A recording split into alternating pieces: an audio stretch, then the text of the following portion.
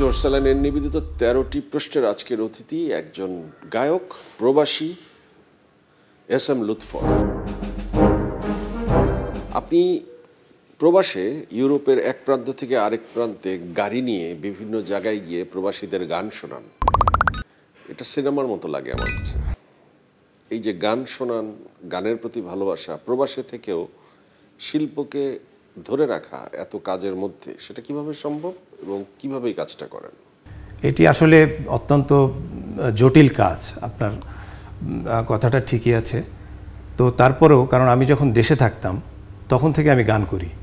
তো তারপরে আমি যখন জার্মানিতে চলে যাই, তো আমার ওই সুরের ভিতরটা কাজ করতো সবসময়। সুরের খেলাটা খেলতো এবং আমি চিন্তা করতাম যে এখানে তো একটা বড় ধরনের গোষ্ঠী রয়েছে এবং তাদের নতুন প্রজন্ম রয়েছে। তো তাদেরকে আসলে এই গানগুলি বাংলা গানের সাথে পরিচিত করা দরকার। কারণ নতুন যারা প্রজন্ম তারা যদি ওখানে গান পরিবেশনা না হয় তারা বাংলা গান সম্পর্কে জানবেই না।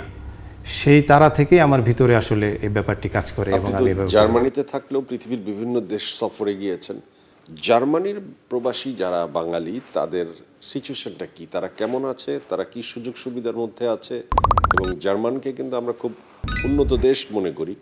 জার্মান আসলে কেমন? বাইরে থেকে যা শোনা যায় তা সঠিক। তার কারণ হচ্ছে যে জার্মানি আসলে একটি মানবতার দেশ যদি আমরা এক কথায় বলি। এখানে কোনো লোক না খেয়ে মরবে না। যে পাঁচটা যে মানুষের যে বেসিক যে প্রয়োজন সেটির কিন্তু নিশ্চয়তা সরকার দিচ্ছে। থাকা খাওয়া চিকিৎসা বাসস্থান শিক্ষা। আপনি কত সালে গিয়েছিলেন? আমি নব্বই দশকে চলে যাই। প্রায় তেত্রিশ বছর আছি আমি জার্মানিতে। সো ওইখানকার প্রবাসীরা কি ধরনের কর্মের যুক্ত? লাইফস্টাইলটা কেমন অর্থনৈতিক অবস্থাটা কেমন জার্মানির দেশের অর্থনৈতিক অবস্থা খুবই ভালো এবং যারা এখানে বাংলাদেশি নিয়ে আমি কথা বলছি বাংলাদেশি যারা প্রবাসী রয়েছেন তারা বিভিন্ন সেক্টরে কাজ করছেন এটা আমি বলব যে নিচের পর্যায় থেকে উপর পর্যায়ে মানে সব জায়গায় তারা তাদের অবস্থান রয়েছে এবং তারা খুব ভালো করছে একজন বাংলাদেশের গ্রামের ছেলে মফস্বলের ছেলে যদি উন্নত জীবনের জন্য জার্মানি যেতে চায় কেন যেতে পারে না? কেন তারা দুবাই বা সৌদি আরব পর্যন্ত গিয়ে আটকে থাকে? ইউরোপে যাওয়ার স্বপ্নটা এখনও কেন এত কঠিন? বিশেষ করে জার্মানির মতো দেশে। আমার মতো আপনারাও জানেন ডায়রিয়া সহ যে কোনো পানি শূন্যতায়। আমার আস্থা এসএমসি রোড স্যালাইন কেনার সময় প্যাকের গায়ে এস এম সির লোগো দেখে কিনবেন। এস এম এসএমসির ওরসালাইন আসলে তারা পারে না কথাটা ঠিক না। আসলে তারা পারার যে ওয়েটা যে রাস্তাটা সেটা জানে না। রাস্তাটা কি? রাস্তাটা হচ্ছে আসলে জার্মান সম্পর্কে সঠিক একটা ধারণা তাদের প্রথম নিতে হবে। যাওয়ার ওয়ে কিন্তু আছে এবং এ ব্যাপার নিয়ে আমরা কিন্তু আমি নিজেও বিভিন্ন জায়গায় যখন সংগীত পরিবেশন করতে যাই, এ কথাগুলো বলি, বিভিন্ন গণমাধ্যমেও বলে থাকি রীতিমতো যে আসলে জার্মানিতে যাওয়ার সুযোগ রয়েছে। এটা শুধু এরকমই না যে সে ডাক্তার কিংবা ইঞ্জিনিয়ার পড়তে গেল, সে ব্যাপারটি নাই। যদি কেউ নার্সারি সেকশনে যায় যদি কেউ বৃদ্ধদের সেবার ক্ষেত্রে যায়, হসপিটালে কাজ করতে যায়, তাদের কিন্তু চরম একটা সুযোগ বর্তমানে রয়েছে আমি আপনার মাধ্যমে সেটা জানাতে চাই এবং সেটা যেতে হলে কি করতে হবে? এই অশিক্ষিত লোকটার কি করতে হবে? সে কি করে অনেকের একটা তৃতীয় মধ্যসত্ত্বা ভোগীর কাছে যায় এবং সে প্রতারণার শিকার হয়, যেটা তার উচিত নয়। এখন তাকে আগাতে হলে আপনার অনলাইনে অনেক ইনফরমেশন দেওয়া আছে। জার্মানিতে বাংলাদেশি অ্যাম্বাসি যারা রয়েছে তারা অনেক ইনফরমেশন তাদের ওয়েবসাইটে দেওয়া রয়েছে। এগুলোকে পড়তে হবে জানতে হবে এবং জানা যাওয়া তারপরেও সে কীভাবে যেতে চায় কোন পদে সে যেতে চায় সেটা যদি সে ঠিক করে তাহলে সেভা সেটা করতে হলে তাকে কি কি শর্ত পূরণ করতে হবে সেগুলোও কিন্তু দেওয়া আছে। এবং সেই শর্তগুলো কিন্তু কঠিন না। আপনি যা দেখে জানতে বললেন সেটা তো তার পক্ষে জানা সম্ভব না। ওয়েবসাইট ঘেটে সে এত শর্ত জেনে সে কার কাছে যাবে? সে কোনো না কোনো প্রতিষ্ঠানের কাছে যাবে, যারা ম্যান পাওয়ার বিদেশে পাঠায়, এটাই তার কাজ হবে। তো সেক্ষেত্রে ভালো এই বিদেশে জার্মানিতে নিয়োগের কোনো লোক, ঠিকানা বা কোনো অফিস আপনার জানা আছে?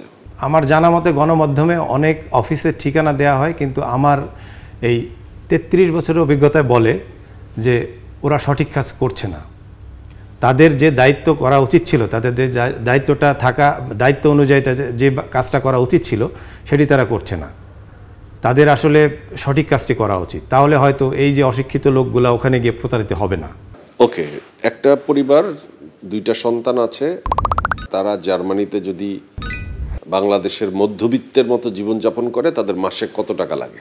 জার্মানিতে সরকারিভাবে লিভিং স্ট্যান্ডার্ডের একটা মানে ব্যয়ের একটা স্ট্যান্ডার্ড ধরা আছে। এখন আমি একটু উদাহরণ সহকারে আপনাকে বলি, তাহলে বোঝা সহজ হবে। একটা বাচ্চা, সে প্রত্যেক মাসে পাঁচশো ইউরো আড়াইশো ইউরো করে সে বাচ্চার একটা ভাতা পাবে। কিন্তু একটা বাচ্চা এক মাসে কিন্তু আড়াইশো ইউরো দিয়ে চলতে পারে না। তাহলে কি হবে? পিতামাতা যা উপার্জন করে, সেটা থেকে তার ব্যয় করতে হবে। এখন পিতামাতা যদি, অথবা শুধু যদি পিতা কাজ করে এবং সে যা উপার্জন করে সেটা যদি যথেষ্ট না হয় তাহলে বাকিটা সরকার তাকে দেবে প্রত্যেক মাসে। দিতে তারা বাধ্য। এটি হচ্ছে নিয়ম। যারা কর্ম করে তাদের সন্তানরাও পায়? হ্যাঁ অবশ্যই পায়। যদি কারণ আমি যদি বলি যে একটা প্রকৌশলী যে বেতন পায় আর আর একটা ধরেন রাস্তা পরিষ্কার করছে সে তার বেতন তো এক না। তাহলে যে নিচের কাজটা করছে তার চলতে হলো যে স্ট্যান্ডার্ড আছে সেই স্ট্যান্ডার্ডে তার ইনকামের স্বল্পতা দেখা দিচ্ছে। সেখানে সে সরকারের থেকে স্ট্যান্ডার্ডটা তাকে মেনটেন করেই চলতে হবে।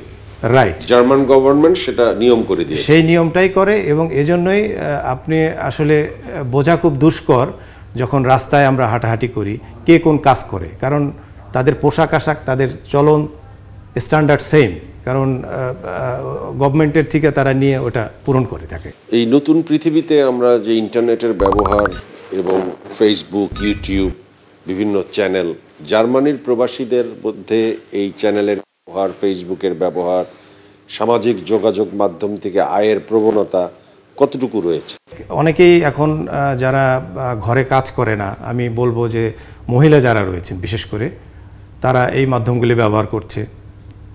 অনলাইনে বিভিন্ন পণ্য সামগ্রী বিক্রয় করছে, কিংবা অন্যান্য কাজগুলো করছে তারা। ব্যবহার যে হচ্ছে না তা না। কিন্তু একটি কথা বলে রাখি সেটি হচ্ছে যে এটার যে অপব্যবহার সেটি কিন্তু জার্মানিতে করা কিন্তু সহজ নয়। কেন? কারণ এখানে যদি কেউ অপব্যবহার করে এবং কেউ যদি সেটাকে প্রোটেস্ট করে প্রতিবাদ করে কিংবা আইনের আশ্রয় নেয় তাহলে তে ফেসে যাবে। সরকারের তরফ থেকে তার একটা বিরাট সাজা হওয়ার সম্ভাবনা আছে। এজন্য সবাই সতর্ক থাকে। যে যে গণমাধ্যমগুলো যেভাবেই ব্যবহার করুক তারা সতর্কতাভাবে বা সাদাভাবে ব্যবহার সরকারের রুলস খুবই স্ট্রং স্ট্রং আমি সেটাই বলতে চাচ্ছি আপনাকে। বিভিন্ন জায়গায় যে গানগুলো আপনি শোনান সেই গানের ভেতর থেকে আপনাকে আমি তিনটি গান শোনাতে বলব পরপর। কিন্তু প্রথম চার লাইন। গান এক শুরু করুন। প্রথম যদি আমি শুনাই তাহলে প্রবাসী একজন একটা গান করছি। প্রবাসে মোরা নই গো জামাই কষ্ট করে টাকা কামাই। সকাল থেকে সন্ধ্যা নাগাদ সকাল থেকে সন্ধ্যা নাগাদ রেমিটেন্স আয়ের যুদ্ধে থাকি। বিদেশে প্রবাসী মোরা দেশেও প্রবাসী। বিদেশে প্রবাসী মোরা দেশেও প্রবাসী। দেশেও প্রবাসী কথাটা কোন দুঃখ থেকে লিখেছেন? এটি কিন্তু বাস্তব। আমরা যখন দেশে আসি তখন আমাদের পরিজন এবং বন্ধুবান্ধব প্রথম প্রশ্নটা কি করে জানেন? প্রথমেই প্রশ্ন করে যে কবে আসছেন কিংবা কবে আসছো? তুমি যাবা কবে? এই যে যে যাবা কবে তার মানে তার একটা ধারণা যে আমি এই দেশে থাকব না অথবা চলে যাক এরকম একটা দুঃখ নিয়ে আমার এই গানটা করা আর কি। এবার দুই গান দুই। দূরপ্রবাসে আমি আছি ভেব না কো ভুলে গেছি দুপবাসে আমি আছি। ভেব না কো ভুলে গেছি যেন মনে হয় চোখের আড়াল মানে বন্ধু, মনের আড়াল নয়। চোখের আড়াল মানে বন্ধু, মনের আড়াল নয়। যে কথাটি লিখলেন। এখানেও একটা দুঃখ বোধ আছে। যে আপনি যখন বিদেশে থাকেন, তখন দেশের মানুষ, প্রিয়জন, ভালোবাসার মানুষকে মিস করেন। ছোটবেলার বন্ধু, বান্ধবী, প্রেম সব কিছু ফেলেই তো গেছেন। তো এই যে বিদেশ অনেক দূর, এই যে তাদের দীর্ঘদিন না দেখা, এটা কি ধরনের অতৃপ্ততা কাজ কি ধরনের অতৃপ্ততা মনে পীড়া দেয় এটার জন্য? বিশেষ করে যারা ওখানে একা থাকেন। অনেকে দেখা গেছে যে দেশে তার সদ্য বিবাহিতা স্ত্রী রেখে গিয়েছে। ওখানে যাওয়ার পর সে রাজনৈতিক আশ্রয় আছে। সে কখন দেশে ফিরবে সে জানে না। কখন তার সরকারি সেই রাজনৈতিক আশ্রয়টা গ্রহণযোগ্যতা পাবে এবং সে তখন দেশে আসতে পারবে। এই যে এই ব্যাপারগুলি নিয়ে অনেকে অনেক ধরনের অশান্তিতে ভুগছে এবং সেই দৃশ্য থেকে আমার এই গানটি লেখা। গান থ্রি। মেসেঞ্জারে লিখছো তুমি দেখা দেওয়াসি বড় কষ্টে আছি তবু তোমায় ভালোবাসি। কেমনে আছি সোনা বন্ধু অনেক দূরে আছি। কেমনে আছি সোনা বন্ধু অনেক দূরে আছি। আমি যে প্রবাসী বন্ধু আমি যে প্রবাসী। আমি যে প্রবাসী বন্ধু আমি যে প্রবাসী। এই দেশে প্রবাসীদের মূল্য কতটুকু? এদেশে প্রবাসীদের আসলে যতটুকু মূল্য হওয়া উচিত ছিল তা নেই। এটি আমার ব্যক্তিগত পর্যবেক্ষণ এবং বিভিন্নভাবেই আমি এ ব্যাপার নিয়ে কাজ করছি বিভিন্ন সংস্থা আপনারা তো রেমিটেন্স যোদ্ধা। জি। তো মূল্য তো পাচ্ছেনই। না আমাদের যতটুকু পাওয়ার কথা ছিল সেটি পাচ্ছি না কিন্তু আমরা সেটি সেই অধিকার এবং সেই মূল্যটা পাওয়ার জন্য রীতিমতো যুদ্ধ করে যাচ্ছি এখনও কীভাবে যুদ্ধ করছেন? যুদ্ধ করে যাচ্ছি বিভিন্ন গণমাধ্যমে আমাদের দাবি দেওয়া বলছি। আমাদের যারা এখানে রাষ্ট্রের দায়িত্বে আছেন। যারা অনেকে আমাদের জার্মানিতে যায়, ইউরোপের বিভিন্ন জায়গায় যায়, যখন গণজমায়েত হয়, আমরা দাবিগুলো তুলে তুলে ধরি যে আমাদের এই এই দাবি। দেশে গেলে আমরা যখন বিমানবন্দরে অবতরণ করি, তখন থেকে আমাদের একটা অবহেলার ভাব থাকে। এবং প্রতিনিয়ত অনেক ইনভেস্টার আমি নিজেও দেশে লগ্নি করতে চাই, বিভিন্ন কর্মসংস্থান করতে চাই। কিন্তু এই যে প্রশাসনিক যে জটিলতা সে ব্যাপারটি অত্যন্ত সহজ করা দরকার। এবং যারা ওখানে যায় তারা কিন্তু আমাদেরকে প্রতিশ্রুতি দেয়। ব্যক্তিগতভাবে কিসের সাথে জড়িত? জার্মানিতে চাকরি না ব্যবসা? আমি চাকরিও করি ব্যবসা করি এবং আমার দ্বিতীয় প্রফেশন হচ্ছে এই সংগীত পরিবেশনা বিভিন্ন ইউরোপের বিভিন্ন দেশে। আমার মতো আপনারাও জানেন ডায়রিয়া সহ যে কোনো পানি শূন্যতায়। আমার আস্থা এসএমসি রোড স্যালাইন কেনার সময় প্যাকের গায়ে এসএমসি লোগো দেখে কিনবেন। এস এম সির এসএমসির ওরসালাইন আমি আপনার সামনে নেই, ক্যামেরার পেছনে কেউ নেই। একজন প্রবাসী, সংগীত শিল্পী হিসেবে বাংলাদেশের চ্যানেল আইয়ের দর্শকের উদ্দেশ্যে এমন কিছু কথা বলবেন, যে কথাগুলো আমরা আমাদের আর্কাইভে রাখব এবং দর্শককে শোনাবো। জার্মানি প্রবাসী নাগরিক হিসাবে আসলে এই চ্যানেলের দর্শকদের উদ্দেশ্যে বলতে চাই যে, প্রবাসীদের ভালোবাসুন এবং আমি চাই যে, আমরা আপনাদের সাথেই একসাথে বাঁচতে চাই।